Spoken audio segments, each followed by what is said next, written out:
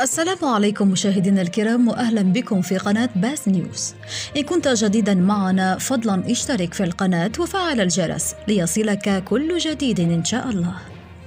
ونرجو منكم الضغط على زر الإعجاب بالفيديو فهذا يشجعنا على الاستمرار شكرا لكم أعلنت رئاسة الجمهورية الأحد عن التعديل الحكومي الجديد الذي كشف عنه رئيس الجمهورية عبد المجيد تبون الخميس في خطابه للأمة الوزراء المغادرون وزير الطاقة عبد المجيد عطار وزير الصناعة فرحات أيتعلي براهم وزير الأشغال العمومية والنقل بالنيابة فاروق شعلي وزير الموارد المائية أرزقي براقي وزير السياحة والصناعة التقليدية والعمل العائلي محمد حميدو وزيرة البيئة نصيرة حرات.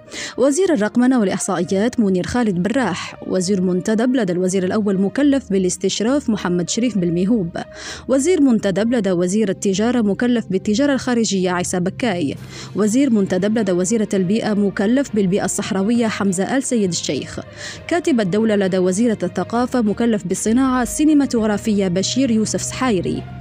الوزراء الجدد وزير للرقمنة والإحصائيات حسين شرحبيل وزير الصناعة محمد باشا وزير السكن والعمران والمدينة طارق بالعربي وزير السياحة والصناعة التقليدية والعمل العائلي محمد علي بوغازي وزيرة البيئة دليلة بوجمعة. وزير الموارد المائية مصطفى كامل ميهوبي. الوزراء الباقون عبد العزيز جراد الوزير الأول صبري بوقدوم وزيرا للشؤون الخارجية كمال بلجود وزير الداخلية والجماعات المحلية والتهيئة العمرانية وزير العدل حافظ الأختام بالقاسم زغماتي وزير المالية أيمن بن عبد الرحمن وزير الطاقة والمناجم محمد عرقاب وزير الانتقال الطاقوي والطاقات المتجددة شمس الدين شيتور.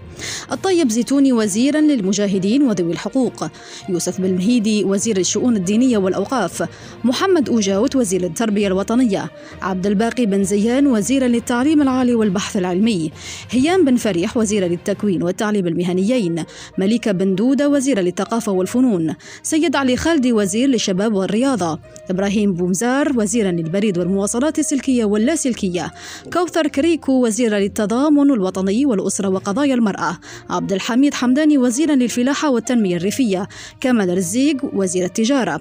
عمار بالحيمر وزير للاتصال ناطقا رسميا للحكومة كمال نصري وزير للأشغال العمومية والنقل عبد الرحمن بن بوزيد وزيرا للصحة والسكان وإصلاح المستشفيات الهاشمي جعبوب وزيرا للعمل والتشغيل والضمان الاجتماعي بسمة أوزوار وزيرا للعلاقات مع البرلمان سيد أحمد فروخي وزيرا للصيد البحري والمنتجات الصيدية عبد الرحمن لطفي جمال بن بحمد وزيرا للصناعة الصيدلانية.